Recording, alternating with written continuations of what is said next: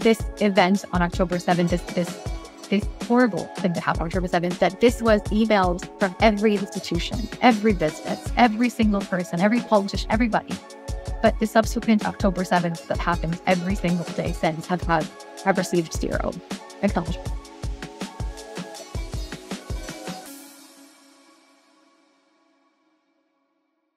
Welcome to another episode of Yalla Let's Talk, the podcast that is going to help you figure things out. Today, we want to talk about a very important topic, and it's really unpacking the trauma that's happening around the world, specifically with Gaza. We can't have a conversation about Palestine without having a conversation about about the mental health, about the mental health crisis, about the well-being, about trauma, about activism bur- burnout, and so. So today we have with us Dr. Nahla. So Dr. Nahla is a Syrian Canadian psychiatry resident here in Canada. She has been an advocate for Palestinian liberation and has spoken on topics from Palestinian trauma to survivor's guilt. Thank you so much, Dr. Nahla, for being with us today. Thanks for having me. I'm excited. Yeah, and hopefully this episode is going to help a lot of people cope with what's happening and at least give a better understanding of uh, of what's happening from a mental well-being perspective. Yeah. In 2005, there was a study in World Psychiatry about traumatized children. And this is in 2005. It was discovered that Gazan children were the most traumatized in the world. We know that the Gazan children face a lot of trauma. And I just wanted to ask, in your professional opinion, what does trauma look like for children in Gaza? They have this physical appearance of uh, of immobility um, and and paralysis. Sometimes these children that you'll see might be shaking. Um, they might be doing that immediately after bombardment, but they might also be sitting in a in a in a, in a hospital bed, have drool from their mouth, not being able to eat or sleep, not responding to people, so it's not even engaging with you when you talk to them um, sometimes your limbs might actually go numb and, and blue and cold because of lack of blood flow because you're in one position for so long. So that's been observed in a lot of kids. Seizures, even like the, I can't even explain the mechanism to be honest, but so many of these kids are requiring um, these either prophylactic, so prevention of the of seizures, or treatment for seizures.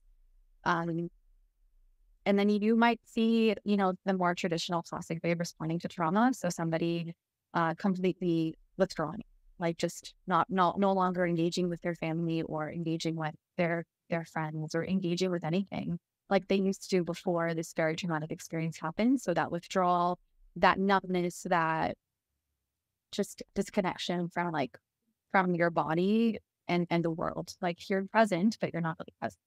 Like your mind isn't anymore. Um, and we, we can like there's so many different names for that, but um, it's like derealization or depersonalization. So feeling like the world isn't real or you're not real.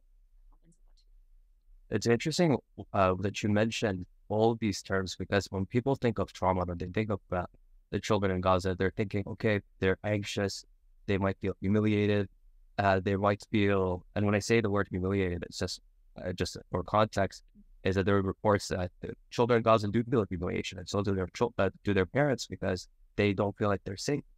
Uh, but when you put it in the context of there's actual uh, mental illness that's being associated with this problem, it really just shows you the severity of what's happening. And it's not so there's deaths right now. We are um, we're three months in, and we see uh, over thirty thousand people died. But we also are now seeing how the world has failed our children. And I just want to now dive into how that trauma then manifests into adulthood. Mm-hmm. How does trauma in Gazan children manifest into how they become as adults?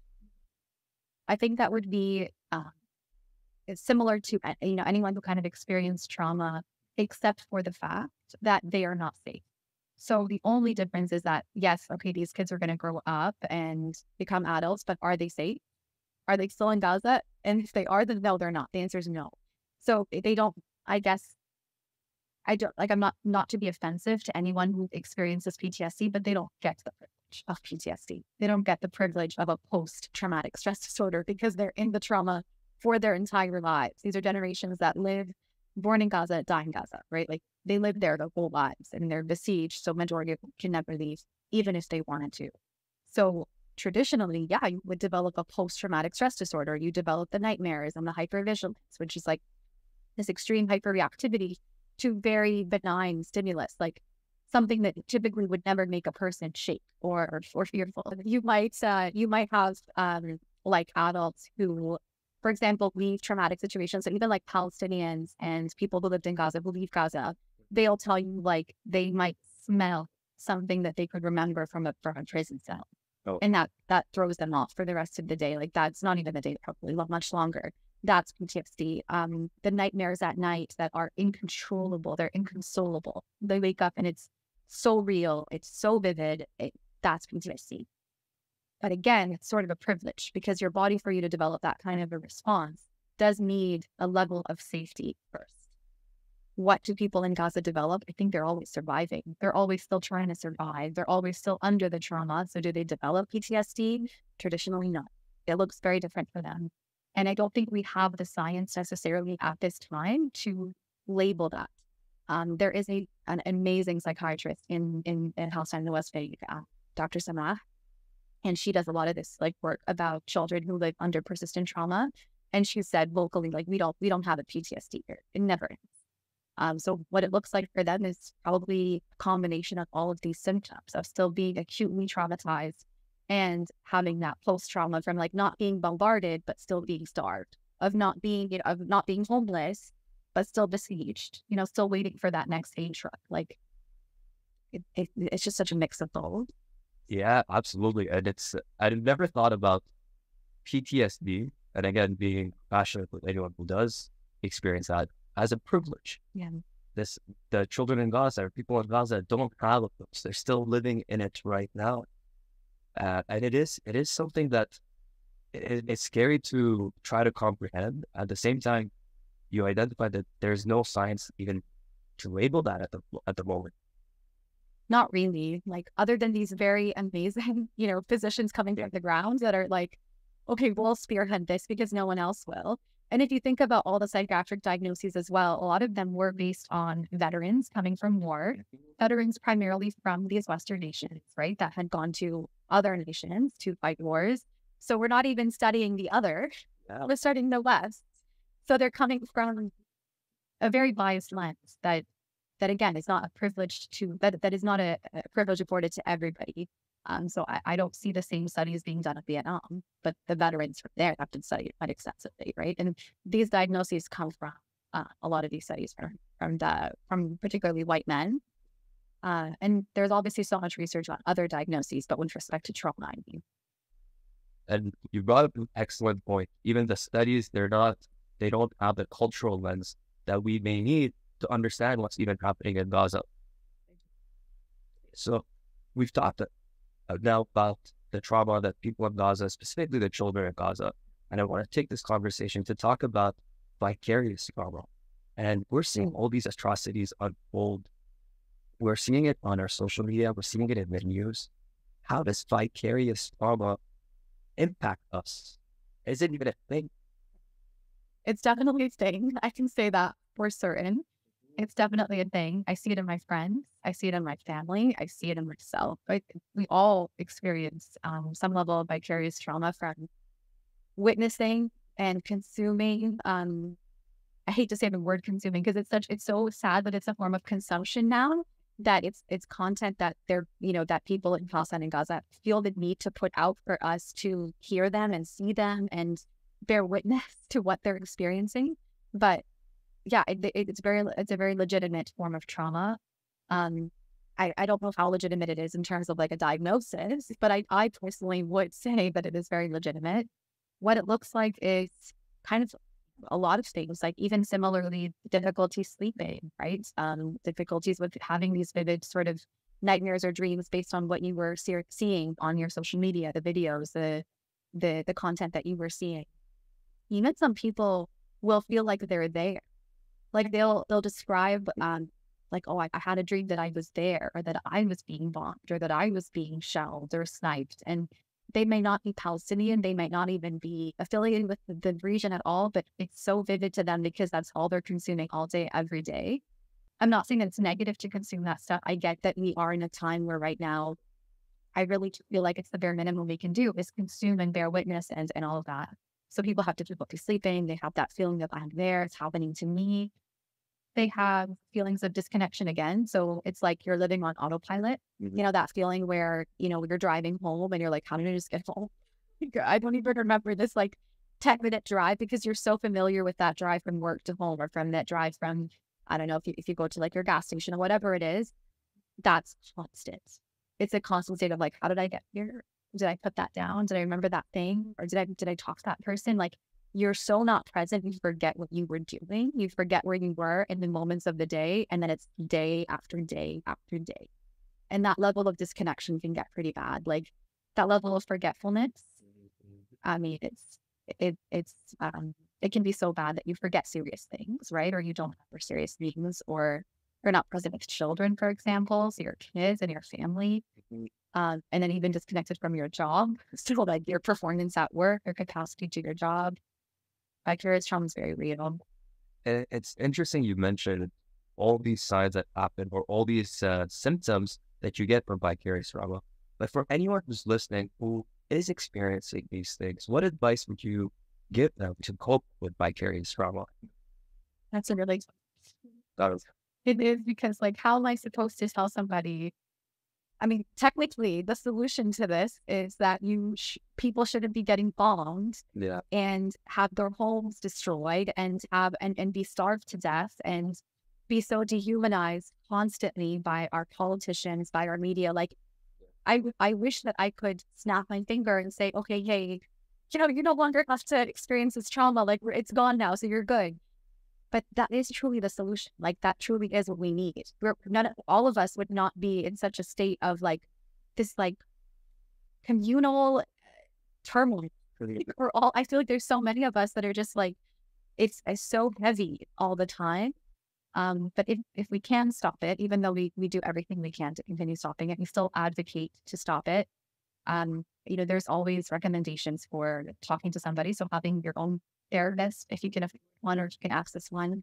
If you can't, there's like community building. So having a place where you can go where you can have people that are safe for you that are not going to make it worse, right? Because we all know if we can go if we go to our colleagues or our schools or you know our our um, institutions we might not feel supported they might actually gaslight us right or they might actually um, be you know pro a literal genocide currently and or for the um you know the annihilation of an entire people like the a lot of people in positions of power have those beliefs and thoughts so going somewhere safe having community therapy somewhere to like release those emotions talk it out process it um, there is, you know, the things to be said about making sure that you even do the basic things. I remember in 2021, I did a post about this where I, I didn't realize how impactful it was because it was so simple to me when I made it. I thought it was so simple, but everyone was like, oh my God, like this was so helpful.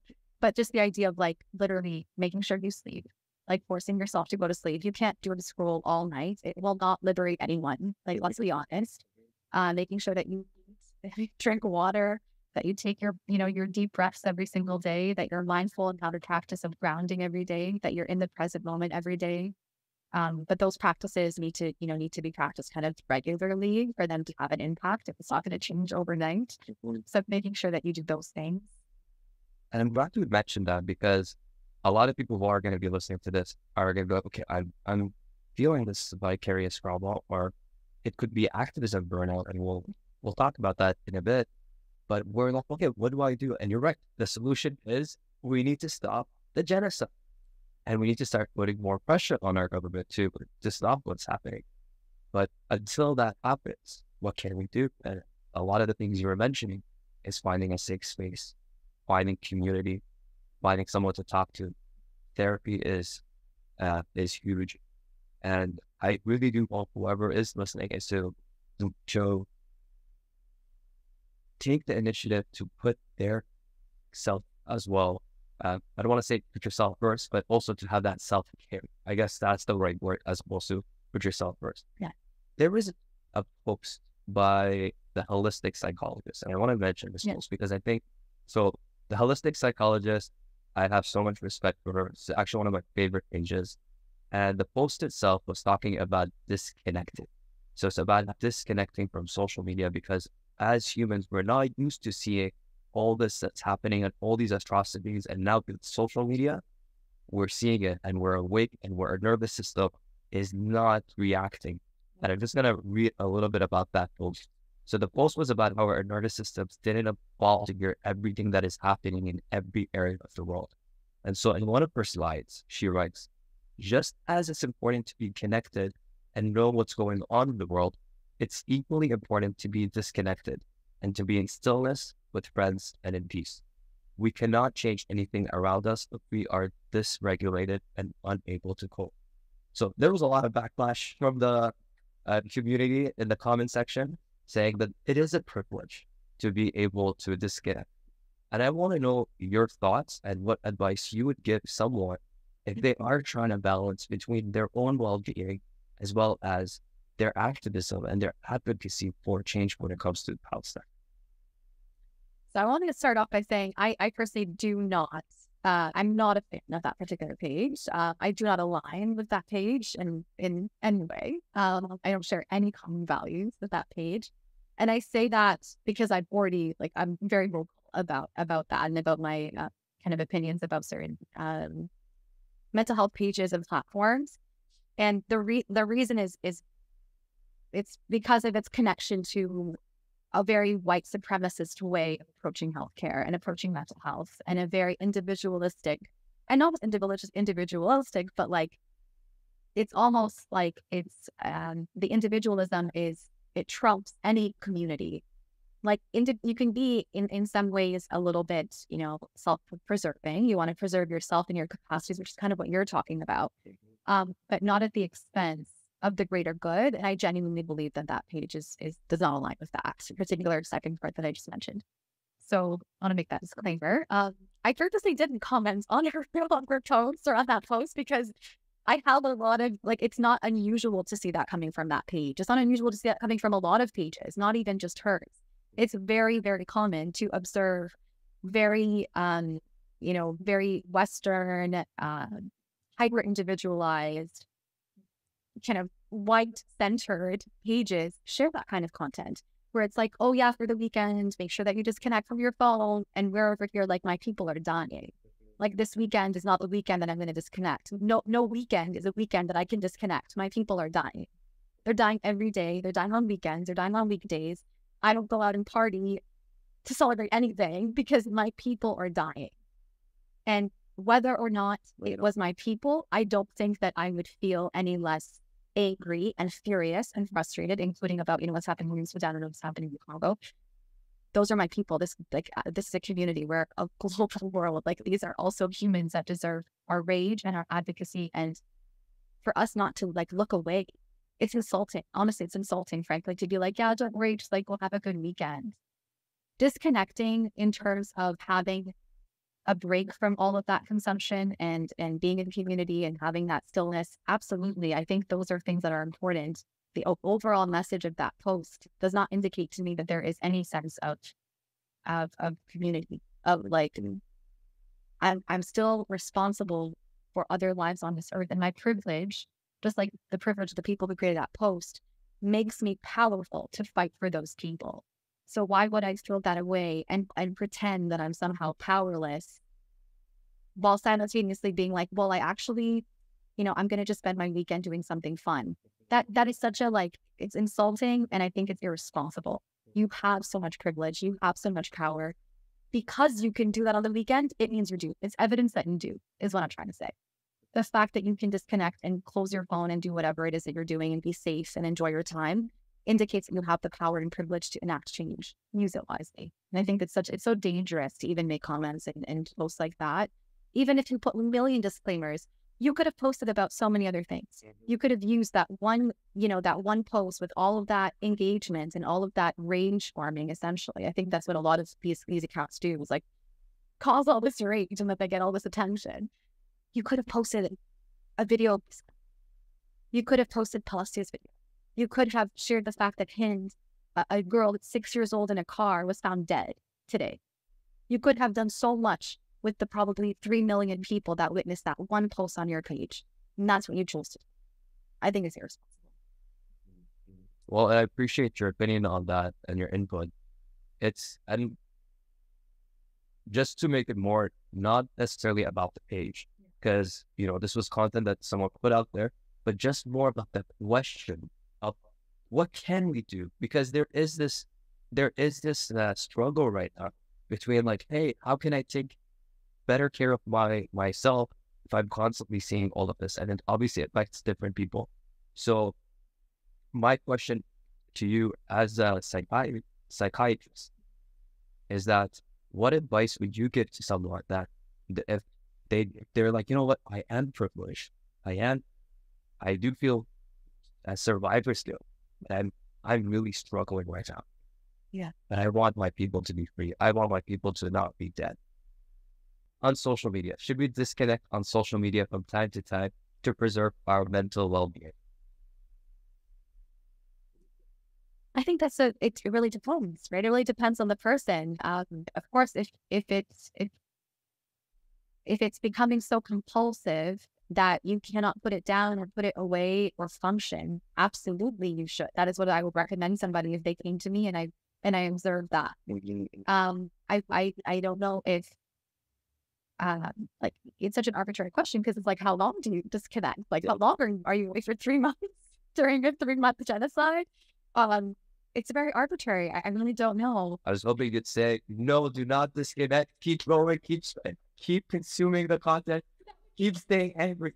Keep advocating. If I was talking to my friend, hundred percent, I would be like, yes. And I and but when I say that to my friend, and I say that to her, and I invite her over to my house, and I and we we cook together, and we have coffee. We go out for drawings. We go to events together. So I'm holding her down while she's doing that. I'm making sure that yes, I'm going to tell you, don't stop posting. Stay angry. Be angry. I'm going to be angry with you, but I'm supporting her with it. Like we're we're in it together. If I'm going to be professional and talking to a uh, you know to a larger audience or to a person, I can't do that for everybody. Sure. My advice has to be so professional. It has to be like, yes, uh, depending on who the person is, of course, there's people that have even underlying mental illnesses that go into this and it's paralyzing. Mm-hmm. It exacerbates their their their uh, symptoms. I have to have to advise them accordingly. But of course, I say as people. Okay, good, good. Let's. If I, I'm, I'm perpetually angry no, I understand. And I think this the whole point of this episode is really to find ways of coping and understanding and knowing that there is a whole community that shares those uh, feelings and emotions and rage and distress. Um, you know, you put it perfectly. Like our people are dying, and this is not the time to just fully disconnect and be like, "Well, you know, this is not what I want to see right now." It's see it and use your privilege to act upon it, to advocate for it. Um, so I want to talk about activism burnout because you touched a lot on that. And I want to know more about right now we're advocating. We are going to these protests. We're posting on social media. Sometimes we burn out. And I want to know what are the signs of activism burnout? And maybe you can define what activism burnout in the beginning, and then what are the signs of activism burnout? Activism burnout is just like similar to what your typical burnout would be. So it's usually defined by like your job. So when you're burnt out at work, uh, it's sort of like that. I don't like this word, but it's like that absenteeism. So you're at work, but you're really not at work. You're so disconnected from everything. Um, that's a major sign of burnout. It's like you're just going through the motions. Like I was describing that, you know, that idea of like I got home, but I don't know how I got home. But it's chronic. It's all day, every day for days. Um, it's very, it's a very bizarre. It's hard to even explain. If you, if you, if you, if you've been through it, you can like understand what it feels like, but it's hard to describe that feeling of disconnection. Um, and it's so long, uh, prolonged. Um, you forget things. Like you're so forgetful when you're burnt out because your mind cannot contain information. It cannot hold information in you're just not able to even recall conversations or things that you had to do. Your mind is overwhelmed. It's like it's jam packed. It can't fit more. Um, you might be sleeping too much, sleeping too little. So either one really can be burnout. Um, and otherwise, you know, there's there's some symptoms that kind of overlap with other things, but you know, your mood is really low or you feel very down. Um, and uh, even like your function. So, for example, like your capacity to just like wake up in the morning and brush your teeth, Mhm. shower, that becomes the heaviest burden in the world. Just getting up in the morning and eating your bed and showering. I say that because it can overlap with depression. So I want to be cautious about that. If you have that, it could also be more of a depression. But yeah, those are all. Okay, wow. So you can uh, try to summarize this. So number one is you're sleeping a lot. Number two, you are a little agitated. Would that be one? You could be at irritable. Oh yeah, very low temper, very irritable. That's burnout sign. And now, would the advice change in terms of coping for activism burnout uh, versus just in general? Like, is it still going to be the same as in, hey, go to a therapist, or is there something you would recommend uh, to cope with activism burnout? I think on top of that, for activism, activism burnout uniquely, because I think a lot of us are maybe in like message groups or advocacy groups. I'll speak like for myself, like I'm in so many advocacy groups or, and I'd have to draw such clear boundaries. So uniquely for that, I would say when people ask you for things, you really have to draw a line. So if you keep getting asked for, for a favor or for this participation or this event or this whatever, draw your lines. Like you can't be everywhere all the time. Um, and advocacy is important, but just like don't don't pour constantly out of it out of a cup that you know is going to become empty. Keep a little bit. You need to keep it. You need to keep some in your cup just to just to stay afloat, just to stay to survive. So I would say keep good boundaries. Um, there's people that I know in the groups that are always like, you know, I, I'm not very active and I'll read the messages every few days, but like I'm here and message me if you need something. So even like just that boundary of like, I can't read every message, I can't sign every petition, or I would like to sign every petition. Make sure you send it to me so I can sign it, but I can't read everything or participate in everything. Um, so just draw your boundaries very clearly. I think that would be something additional. I love that you said that. Uh, I remember there's a quote by uh, Dr. Mate, Gabriel Mate, and he says when it comes to compassion, compassion fatigue, it's there's no shortage of us as humans having compassion, but it's really the shortage comes from having compassion and empathy within ourselves. And one of the ways we can have empathy and compassion within ourselves is putting these boundaries. And you echoed that very, very eloquently. So thank you very much, Dr. Nahla, for putting that first putting it that way. Because you're right. You can't you can't continue advocating if you're everywhere. That's burner. Yeah. Uh, so pick the right spots, but continue to advocate. Yeah, we all have a role. All of us have a role, and all of us have, and every single thing that you do do is super valuable. And I remember that being something I mentioned in the advocacy post because we might think like, oh man, I'm not doing like what that person is doing. I'm not enough. Like I'm, I'm, I'm, I'm not good enough, or I'm not doing enough, or I'm useless. And it's like, no, you, like if you look back, like you went to that protest and you sign every petition and are on these email threads and you posting, you're posting every day, like come on, like give yourself credit too, and don't compare yourself to all the other people. We all have, and that person might not be doing what you're doing. So keep that in mind that everything you do matters. I love that. Everything that you do matters. Thank you for putting it that way. And I hope whoever is listening, if you are doing things and if you are advocating to take a moment and just commend yourself for for doing what you're doing and for standing for what you're standing. And uh, so thank you for putting that uh, so I want to go into the next part of our conversation, and I want to talk a little bit more about this concept of cognitive dissonance and how after October 7th, the world has woken up. And we see for October 7th, we see the, the narrative that we grew up with, which is Arabs, Palestinians are seen as terrorists. They're seen as this evil, barbaric narrative and little do we ever see the, the narrative of of them being oppressed, of them living under an occupation, of them having families. And there's this one incident that broke what Hollywood and what centuries of media, or not centuries, but of years of media have tried to basically cultivate the Arab man. And um, it's the, the, the Arab or the Palestinian grandfather holding his passed away granddaughter and saying, look, just the soul of my soul. And I want to go now to just ask them from your opinion, how does the world woken up since the events October 7th, seeing these atrocities unfold in Gaza?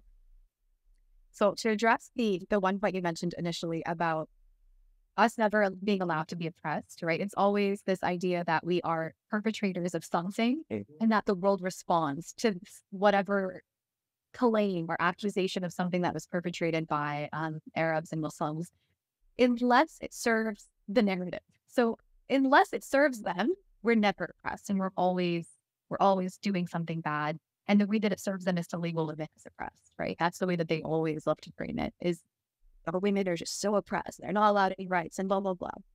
So I want to mention that yes, we are oppressed only when it serves them. And the cognitive dissonance of like, I'll start with like just the the, the dissonance of, of watching when I was in grade four in my class, watching 9-11 broadcast on TV for all of us to watch. And I remember vividly teachers weeping and, and, and principals weeping. And of course, it was tragic, right? And I remember even at that young of, of an age, as a Syrian kid in Canada, who was very aware of of the what's going on in Syria, what's going on in Iraq and Iran, and like every you know everywhere else, that this stuff was happening in my country, in, in my, with my people, and amongst you know the Middle East and, and everywhere. This stuff was happening all the time. I remember being confused about that. Why are we watching this? We've never watched any one of them before. And if we ever watched any one of them before, we watched it as like, look what we did in payback to whatever accusation they made about whatever population they were targeting at the time that they wished to to to harm. So it's a cognitive dissonance of like, okay, this matters, but that doesn't matter. So now I have to care about this. And I can't care about what happened, you know, the, the 9-11s that happened every other day in, in to my country.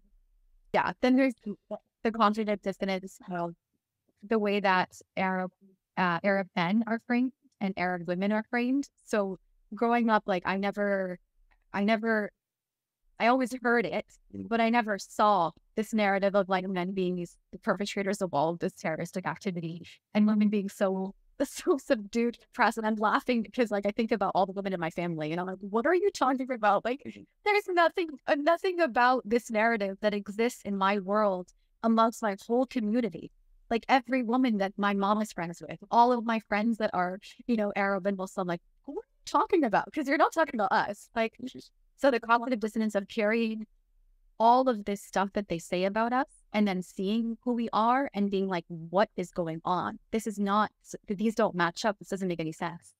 But now they're in a world where I'm scrolling on social media and I'm seeing people's videos. I'm seeing their reactions to my videos and then being like, oh my gosh, I, I believed it too.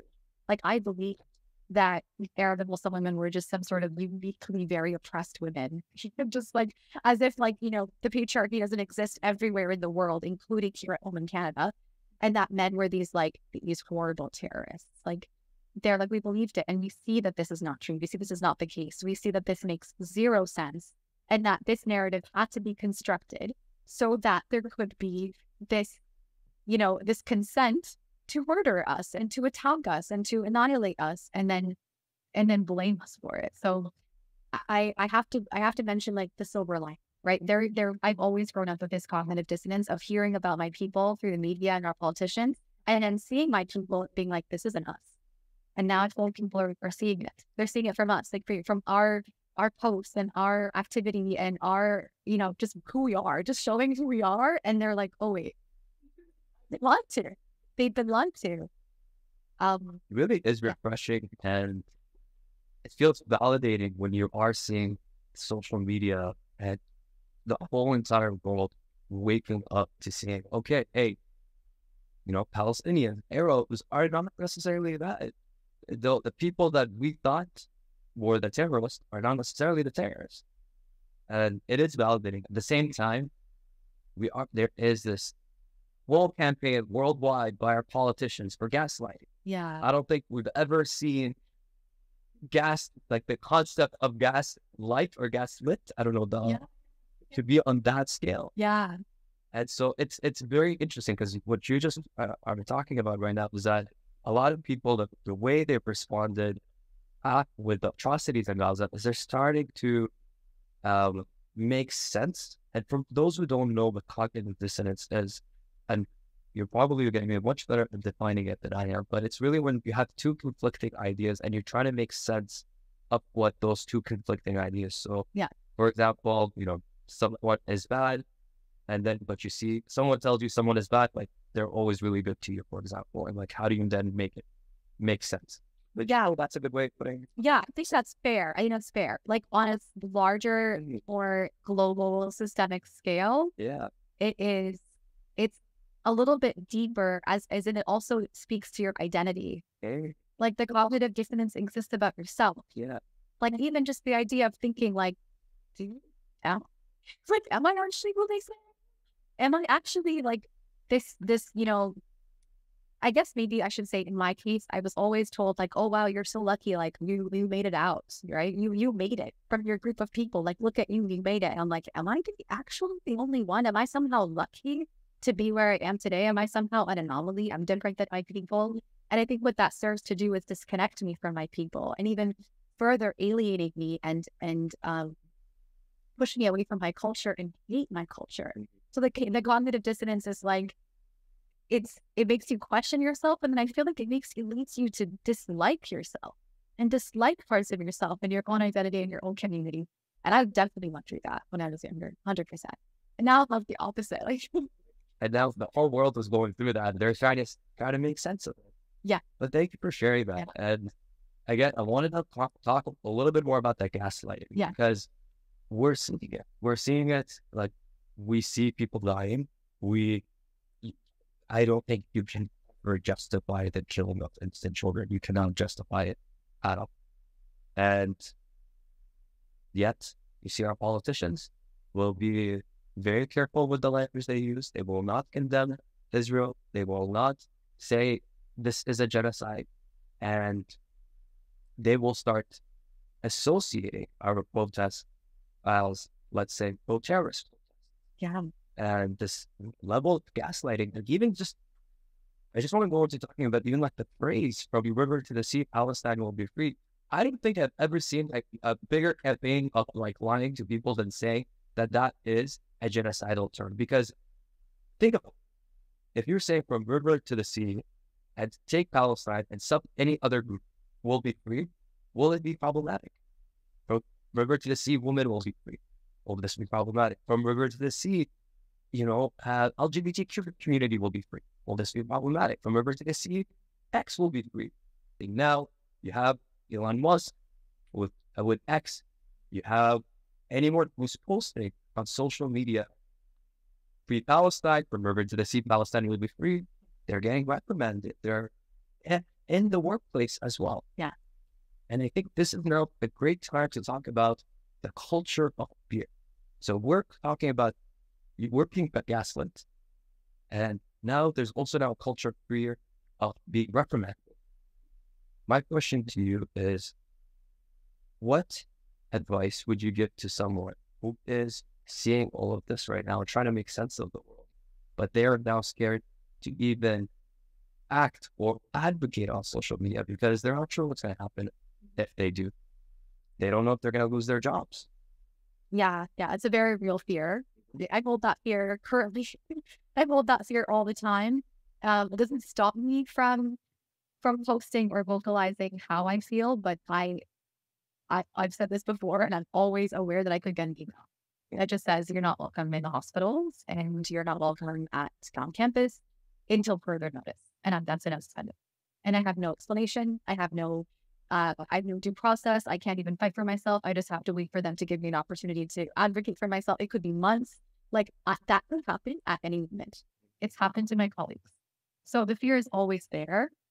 And like even just discussing like the the the discrepancy between like what terminology is used about, you know, Palestinians and about um uh, Palestinian liberation, even the fact that this event on October 7th, this this this horrible thing that happened on October 7th, that this was emailed from every institution, every business, every single person, every politician, everybody. But the subsequent October 7th that happens every single day since have have, have received zero acknowledgement.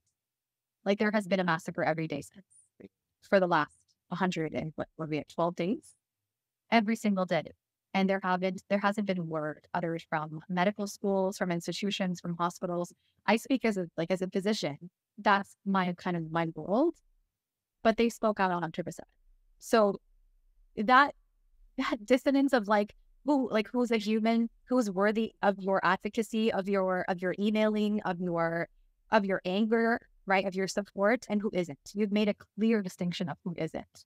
So if I spoke up or if I even uttered that I'm struggling, I'm grieving, I'm whatever, like whatever the, you know, whatever it is that I'm struggling with, even that isn't welcomed because I'm not allowed to grieve. I'm not allowed to be sad. I'm not allowed to be mad because the institutions don't see that as valid.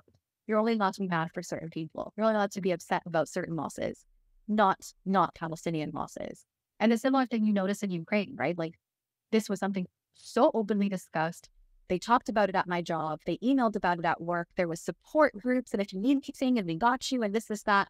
Again, not a word uttered about Palestine for the last 75 years, but also last 100 days. So it makes you realize that you don't care if I'm grieving, you don't care if I'm struggling, and you don't care if I'm sad or upset or, or having difficulty coping. So I'm not going to come to you for it. And you're going to reprimand me if I share that elsewhere, if I go elsewhere with that brief, if I go on social media with that brief, if I go mm-hmm. to protest, if I advocate in other ways, you're going to punish me for that. Like that's where we're at right now. That I can't even, I can't feel what I'm feeling and I can't advocate for what I want to advocate. It's suffocating. It's honestly suffocating. Like, I don't. And I, and I feel like a lot of people share that sentiment, and the feelings are are elsewhere in the world because we are seeing atrocities happen, and we're our lives are not treated in equal consideration. And what happens with a lot of uh, employees is they feel stuck. They feel like, okay, what can I do?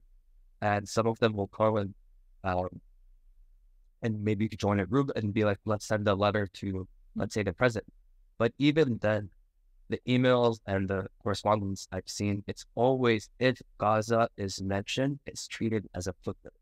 Yes. Gaza is only treated as a footnote. It's like, let's, you know, pray for yada, yada, yada, yada, and then end Gaza. And so it does, it does show where we're at in the world. It does show where we're at when we're talking about diversity and inclusivity in the workplace. Because if you really do believe in equity and diversity and inclusivity, this needs to be at the forefront. There's a lot of people who either are Palestinian, Arab, they might be Muslim, they might have loved ones or care about people in that region or from that region. And if you're creating a safe environment for one group at the expense of another, where are we at workplace? Where are we in our equity, diversity, inclusivity? That's exactly it. That last part. That they are explicitly creating safety in the workplace for only some. And I would I would suggest that it is incredibly unsafe to not even acknowledge, like for example, a hospital or a healthcare institution or a medical school, nursing school, to not even acknowledge the war on healthcare workers in Gaza. That is so like that speaks of volumes. And then the fact that you would go to your job and nobody even talks about it. So just imagining that you're like you leave your job and you're scrolling on your phone. It's all these atrocities, these horrible things committed against Palestinians and against people in, in Gaza. And then you you talk to your friends, and that's all you're talking about with your friends. You're going to the protest, you're advocating, or you know, joining events or whatever it is. It's it's your it's your world there, and then you go to your job for however many hours a day, and no one cares. That is like, it's it's a mind game mm. like you're in two different worlds. That is a, even a type of cognitive dissonance because you're just like, how are you all okay? I'm barely making it through every day. I'm barely floating, like yeah. just above water, breathing every single day. Um, and then I go home and I'm scrolling. I wonder, do do you see what I see? Like, does it come on your phone? Has it ever been on your FYP before? Like, I know you all have TikTok. You scroll on it at work. I'm sure you've seen it. Like, I don't. It's such. It's such a mind game. It is a mind game. It is 100% a mind yeah. game because you are in pain, you're hurting, and. Your work environment, you're there for half of the day and you're not, you don't have that safe space. And maybe your colleagues might not mention it. Some might do. And yo, shout out to any colleague who is acknowledging and validating and creating the safe space and doing what HR and a lot of these workplaces and their executive teams have not. So if you're listening, Thank you. Um, but for anyone who is listening, I want to just highlight a couple of things. If your workplace is you you do not feel safe in your workplace, one, you know, like uh, Dr. Nahla has mentioned, seek support. But two, I do think this there's something to be mentioned to escalating matters to human resources if you feel safe, but also speak to a lawyer as well because some of these things could be in the grounds of discrimination. So speak to a lawyer and let's go from there. Yeah. All right. Okay. If, if, you want, I could also mention that like we we have uh, for medical students and for residents and physicians, we do have like a, a whole entire group of individuals that if you are like suspended or reprimanded or have any consequences about you know your stance on Palestine, there are lawyers that are actually like for that reason currently helping and advising people and supporting them in in um, I guess you know going back to work or things like that. So like yeah. lawyers are even involved in our processes of like protecting Good. us. So the residents and the students who were suspended, we had like a whole team of lawyers that were involved and really helpful. Good, good. Yeah. So for any lawyers who are listening, this is their opportunity to help yeah. as many people as you can. Um, this is how, honestly speaking, I feel like it's it's a beautiful thing to see our community.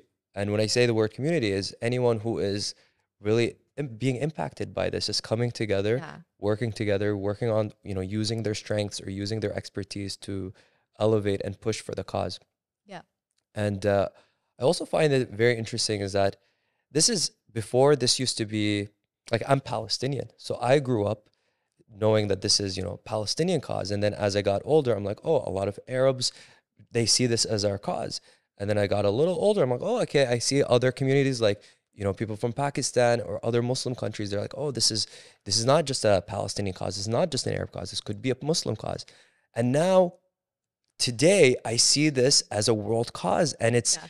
and it's really interesting to see because uh, what the people of the world are seeing is you're seeing colonizer Israel and people who are being colonized Palestine Palestine mm-hmm. and if you come from a country or if your family comes from a country that was colonized, whether from the UK or whether from France long or list. otherwise, it's a very long, long list. list.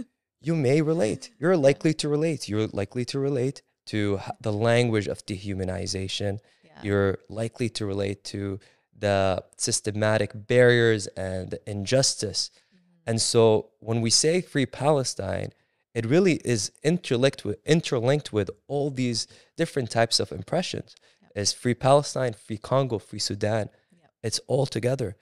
And I mentioned the dehumanization, and I want to go and talk a, a little bit more about dehumanizing and how that impacts us mm-hmm. hearing that language, seeing that in in the news and in the media.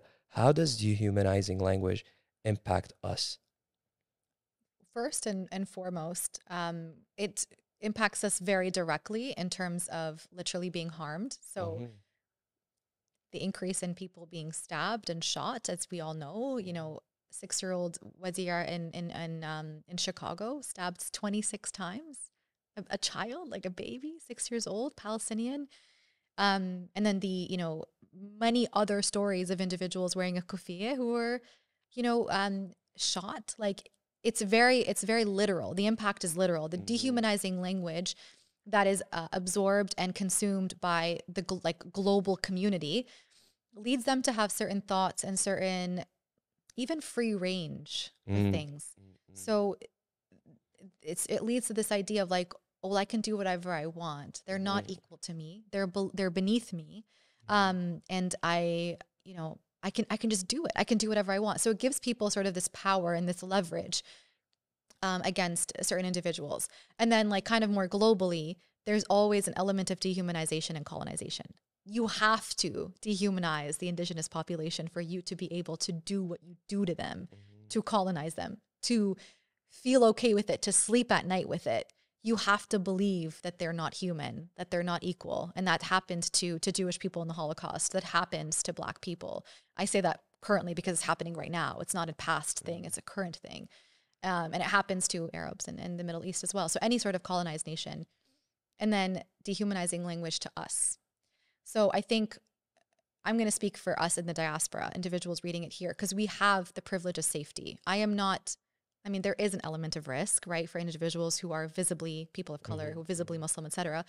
But there's an element of safety that I have enough in my life. I can eat. I have, you know, roof over my head. I have, you know, all of these things, financial security. That what impacts me the most is what I read and it's what I'm hearing. So it's my politicians that are describing every Palestinian as a terrorist, every Palestinian as somehow complicit in terrorism. Does that include the child in the car that was trapped for 10 days or 12 days that died? Like, who are you talking about? Um, and the dehumanization of, of, of, um, of our men, like of the way they talk about our men.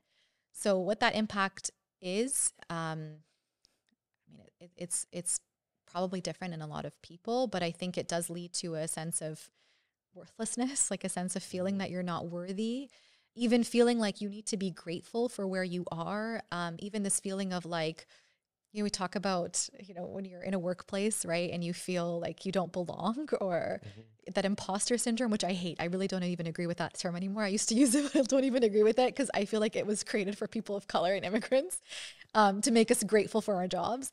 But um, even that sense of imposter syndrome makes you feel like, oh man, like maybe it could be worse. like I could be, uh, you know, I could be looked at in that way, or it just maybe it's a sense of like you degrading yourself even mm. when you mm. read that type of language.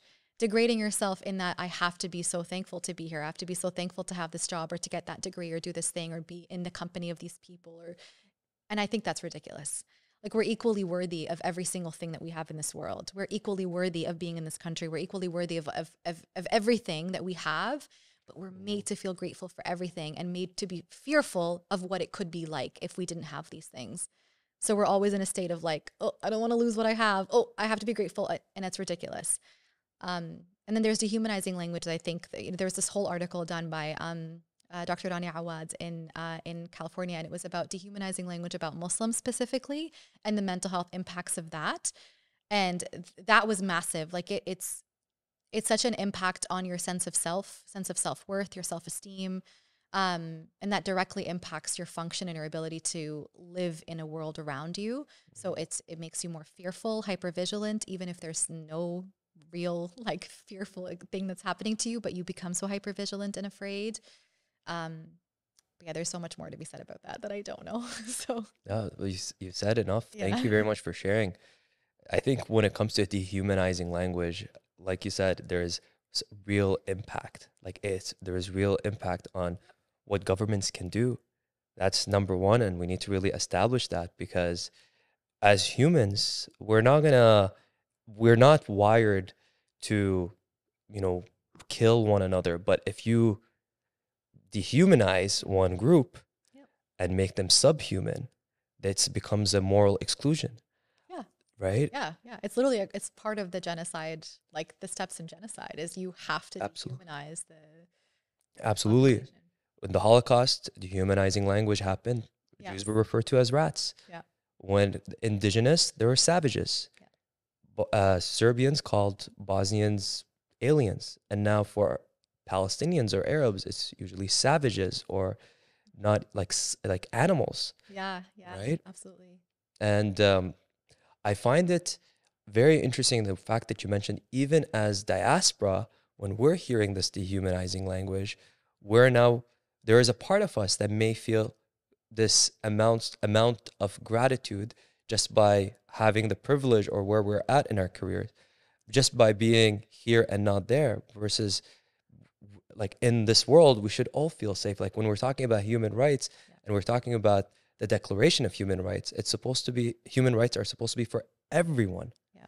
Right? Why are Palestinians or certain groups in the world excluded from that? It's even nauseating hearing you say that because I get like a visceral reaction. Like I hate, I hate that we always have to be so acutely aware that, oh, it could be worse if we were in Syria. I could be getting bombed right now, or I would have to pay $30 for a bag of rice in Syria right now, or uh, in, in Palestine, I would be cooking literally grain for, for pigeons um, to eat right now. Like, I hate that we are so hyper aware mm. of the other and toggling this like okay but you know i should be so grateful because it could be like i hate that it makes me so nauseous i hate it and i wish that we never had to be aware of that. We never had to even even that reality to never exist. Um we'd all be so much better off mentally. Like it would it would change our whole mental well-being. We will have uh, white privilege. Truly. No, right. No but facts. We would. They're yeah. never they're they, they never have to face that dichotomy. Absolutely. Absolutely. Um, it's interesting you mentioned that because I do think, obviously, the way I see it, and maybe this is just my mindset, mm-hmm. is that with all the struggle and even when it comes to like the mental gymnastics of trying to make sense of the world, I do feel like it does provide us with a sense of character and resilience. And I am grateful for that part. Like, I know if I didn't have my struggles and if I didn't see the world the way I saw it from coming from a background that was oppressed and that was under occupation and that did face colonialism, I might have a different worldview. And because I, I come from that background, I feel like I'm, I can be more compassionate and I can feel that empathy. And I feel like if when we look at it from that lens and just focus on like, okay, now you have that privilege, you have that empathy, maybe we can do something to help. Mm. But what I find so disheartening is when I see a lot of people who are in that privileged uh, space, but then they're just going to ignore it and they're just going to be like, okay, no, I'm going to still do my own thing. Um, and just just as a example, like when it comes to boycotting, I think boycotting has become such a it's such a powerful tool for resistance. Like, why should companies profit from human rights violations? But we still see people, even within our community, that will still go to Starbucks. Now, I think the the question comes to right now, you are seeing, let's say, your friends do this, it's impacting you. What advice would you give to someone who is trying to make sense of this and is feeling this rage, feeling this betrayal? But what can they do? I mean, obviously, if you have the capacity, talk to your friend, right? Mm-hmm. If you mm-hmm. have the capacity to sit down and have a conversation with them, talk to them, inform them of it. Mm-hmm. If we're going to assume that they don't know, then yeah, then talk yeah. to them. But if they already know, if mm-hmm. they're already very informed and they're choosing to do, you know, XYZ action that is, you know, clearly against the support of Palestinians, then I think it's it's a very like personal decision. Like a lot of people will cut off friends. I have so many friends. I have so many DMs that are just like, I can't even talk to this friend anymore. I can't be in this space anymore. I can't go to these places anymore because I can't. I'm not safe. Like these are folks that are like every single day intentionally making decisions that are harming me and my people. Mm-hmm. Some people just cut them off. Um, a lot of people just follow their favorite influencer because they're no longer their favorite influencer if they're they don't give a, a, a crap about a genocide. Like they're no longer mm-hmm. their favorite. I can't. I don't want to engage, and they don't want to engage with somebody or support somebody that is is um, disregarding it all and just not not caring. Um, and even if they verbally say they care, their actions show otherwise, their content shows otherwise. Like that is huge. It's not just saying you care, it's showing that you care. So I think it's different per, per person. If you don't have the capacity to talk to people, I think, you know, some people sometimes it's distance and just separation from that person or um, muting muting that person muting isn't a very I, I love that feature on social media mute you don't want that trigger. You don't want that perpetual trigger in your yeah. life every day. So, yeah, I get a lot of people telling me that I just muted my friends or just distance myself from a lot of friends. And it can be isolating, but I hope that in response to that, you make new community, make new connections, and feel that sense of community and connection with people that are like in your in your circle that yeah. are advocating as well. Absolutely, I feel like uh, what you're echoing is really either putting boundaries or really dropping your friends, right? If you really cannot align with those values or you feel like they're adding stress, you know, we're adults. Friends are there sometimes for seasons, and yeah. it's maybe this is a time where let's not give that friend group or these friends energy and find new friends where you do align or where you do feel safe or where you do feel like you have common values. I liked how you also mentioned the you know the ability on social media you can unfollow, you can mute. I always find it as a as a pet peeve of mine is like when it comes to influencers, there's a million influencers out there. Not everyone is gonna be your cup of tea, but as opposed to let's say going on and rants about this person who didn't say this and that, just unfollow them and give your love and attention to the people who are doing this, who are advocating. And when it comes to people who are posting things that are maybe a little insensitive, just mute them, right?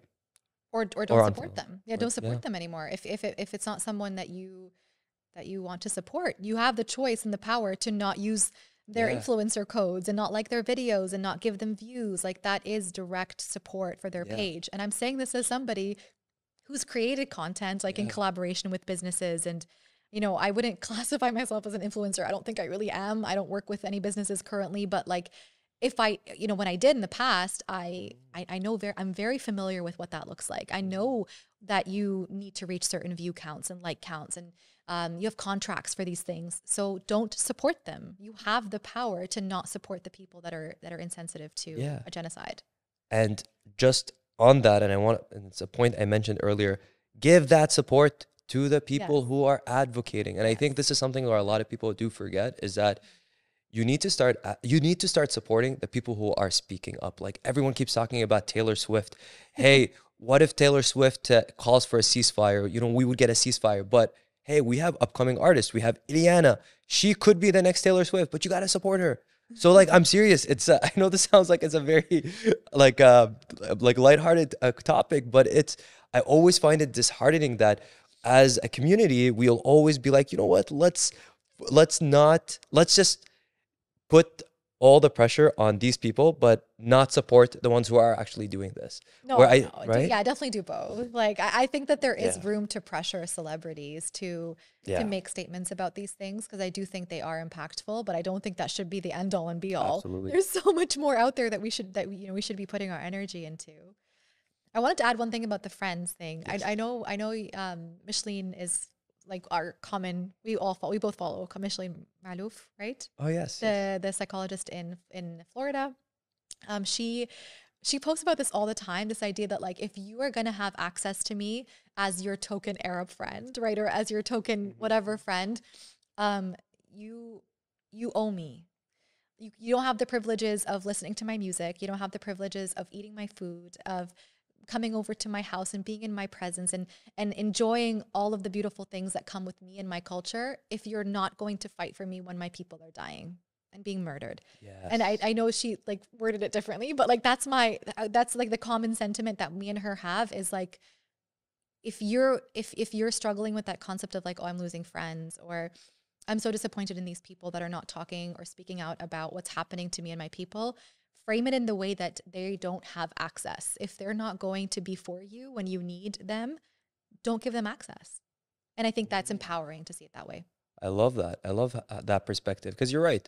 Like you can't just come enjoy our music, eat our food, smoke some shisha, and these are also Arabic stereotype, but without actually fighting for our people as well. Like you can't or have access to, or sorry, let me rephrase this. you cannot fight for our people. Let me this part. Anthony will be removed. Well, they should fight for our you people. Know? Why not? Yeah, but it's I, the way I want to put it is that is that um, you can't just enjoy our music and our food and our culture yeah. and and then at the same time enjoy all of these things that benefit you or part of you know like quote unquote your entertainment, mm-hmm. but then dehumanize us when when it's convenient for you to just go on with your life and not care about our well-being our people the lives that are being lost. Yep exactly. It, or you just ignore it like just pretend it's not happening. Yeah. Like i just it, i can't imagine that. How do you just ignore it? But then like you know mm. you're having your baklawa for dessert tonight and you're mm. you know you're going to shisha you're the shisha bar on the weekend. Mm. Like it doesn't make any sense to me. It doesn't yeah. it doesn't. And i hope uh, for anyone who's listening if you are you know diaspora to know that there is a community out there. And for anyone who isn't part of the diaspora and you are uh, learning and being part of these communities, one, thank you, thank you for for taking that step. It really is does say a lot about about you and your character and what you stand for. And just know that for us to be able to advocate for change, we we do need community. We need community with care, and um, I love how you said it. You cannot just be a token anything. We we need to start we need to start listening to each other and really coming together for change. Now, Dr. Nahla, we started this conversation talking a lot about the trauma, the trauma that people in Gaza, specifically children, face. We talked about how that manifests into adulthood. We then talked about vicarious trauma and how that also looks for people in the world, for people in the diaspora. We also talked about activism burnout mm-hmm. and touched a little bit about survivor's guilt. And now we talked then about uh, the workplace and the fear of culture mm-hmm. and the language of dehumanization. We also went on a side note when talked about the boycott, boycotting Starbucks, hashtag boycott Starbucks. And um, I don't think Starbucks is going to be sponsored. We don't want their sponsors, anyways. Uh, but I want to just now ask you was there a topic or something that you wish we could talk about a little bit more that we haven't had a chance to cover? I think maybe we could talk a little bit more about the survivor's guilt part.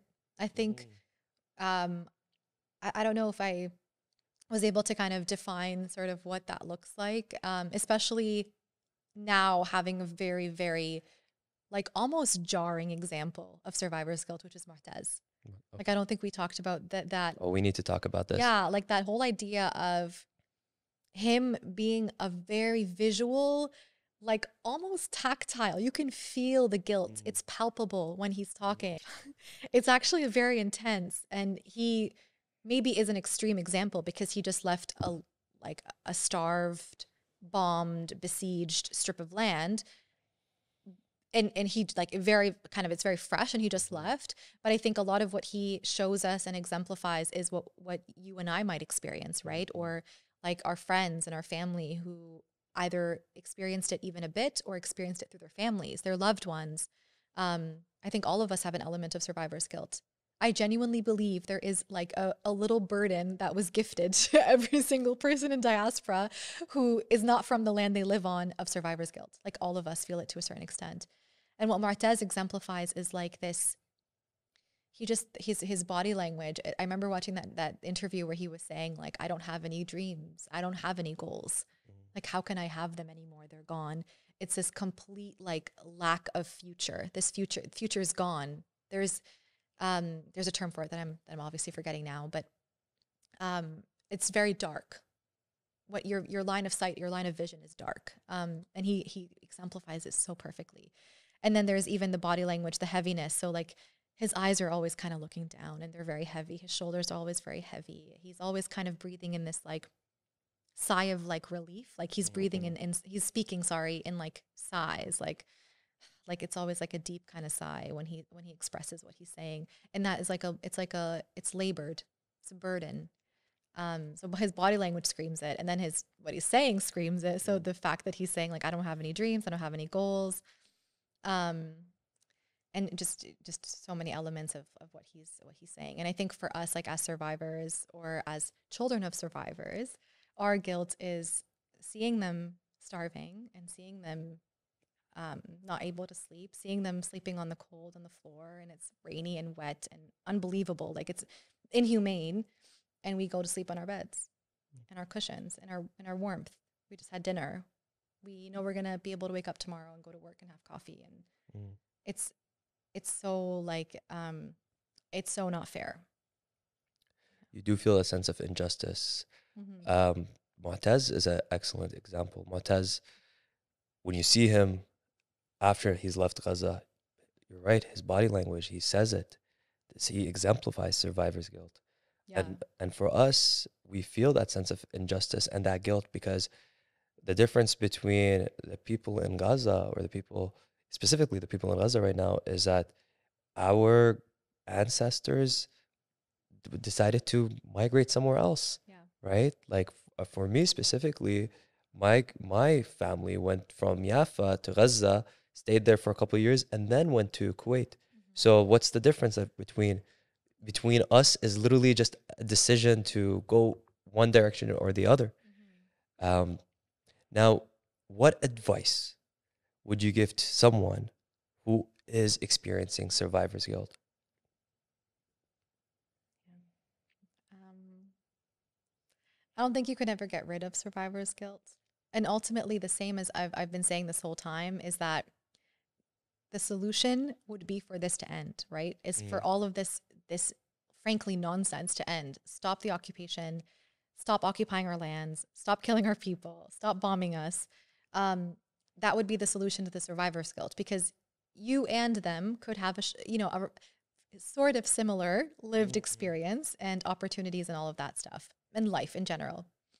Um, but I think that no matter what, it's going to be there. And I'm not saying that in like a pessimistic way of like, you're never going to be okay. I'm saying that in a way that it's like, okay, we can't, we can't remove this discrepancy. We can't remove the fact that, you know, you, you your lives won't be equal, at least not for the foreseeable future.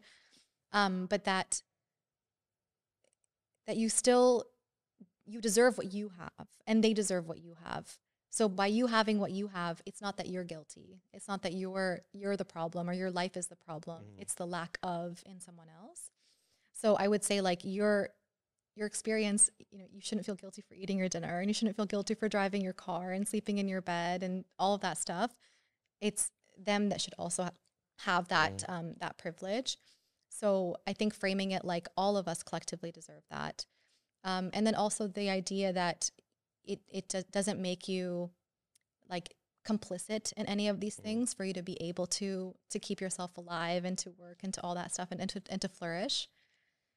I think survivor's guilt is very tricky because we it sort of ties into that like cognitive dissonance and dehumanization like we think that we are not deserving of certain things mm-hmm. and i would caution of like our thinking of uh, are thinking going into like, oh, I don't even deserve this. I don't deserve to be where I am today and have what I have today.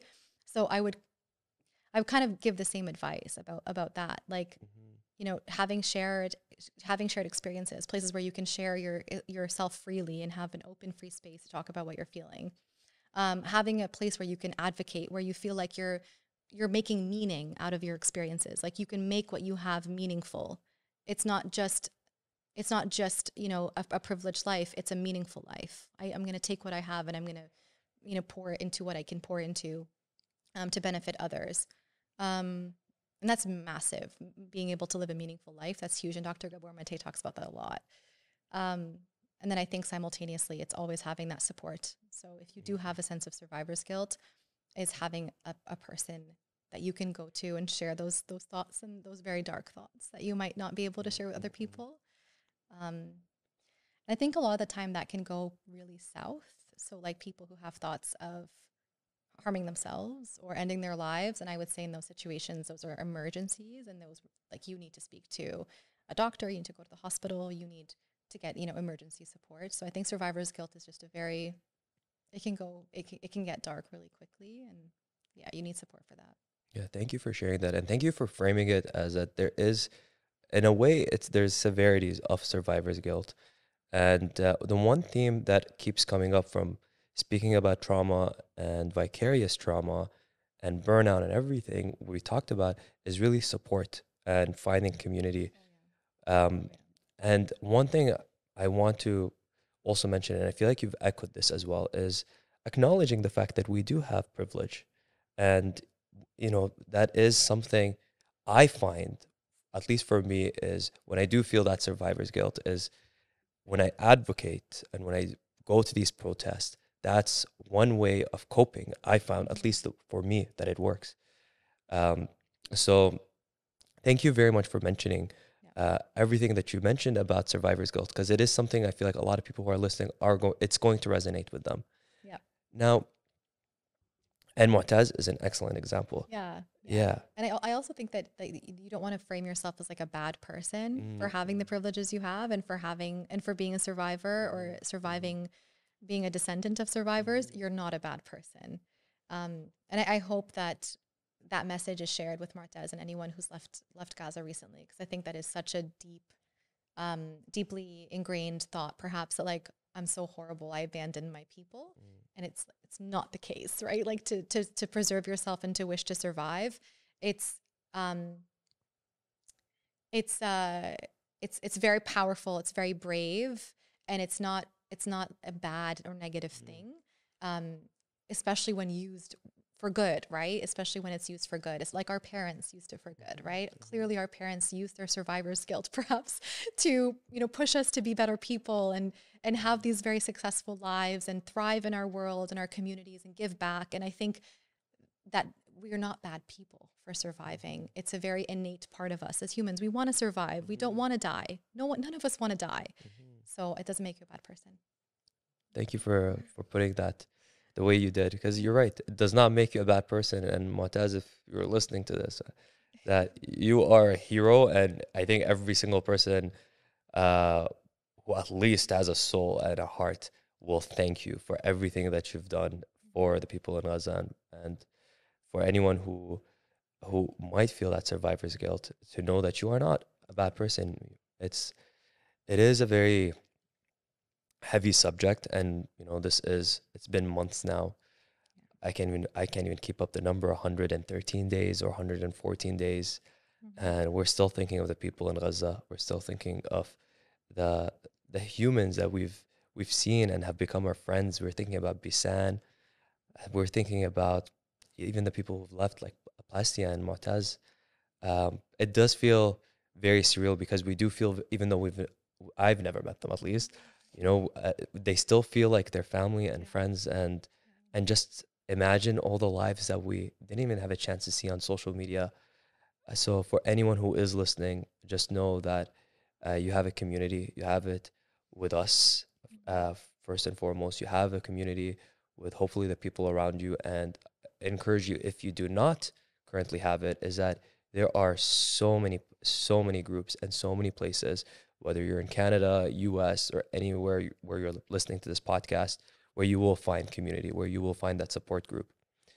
Dr. Nahla, I want to thank you from the bottom of my heart for coming today and for making the time for this podcast episode. Uh, we learned a whole deal about about coping and about trauma and how the events that started out on October have really traumatized the whole entire world. And before we conclude, I just want to give this opportunity to you to tell people where they can find you on social media because I'm sure a lot of our listeners would want to uh, follow you and follow your journey as well. Um, yeah, so primarily I, I use Instagram and TikTok now. Um, and my my handle is I'm Dr. Nahla or Dr. Nahla. Um, but I think if you if I am going to suggest for people to follow I would suggest that you follow some Palestinians in Gaza right now. That would be more important. But I try to amplify their voice as much as yeah. possible. So, well, thank yeah. you, Dr. Nahla. So humble of you, and we really appreciate the time that you took to to come and uh, yeah, and echoing what you said. Yo, you guys start following people in Palestine. Yeah. Amplify these voices. We need people to amplify Palestinian voices. They're they're not mainstream yet. Even with all of this is happening on social media, the more you, we amplify, the more we can start to see change in the world. Yes, yeah. I mean, I think we're pre- we're pretty close to mainstream, but yeah, I think yeah. the more people that follow them, yeah. definitely, definitely. Well, thank you very much uh, for coming today, and guys, please do not forget to follow us on Yalla Let's Talk, um, and don't forget to subscribe. And if you enjoyed the contents of this episode, please do share it with someone who it might help. And on that note, yalla bye.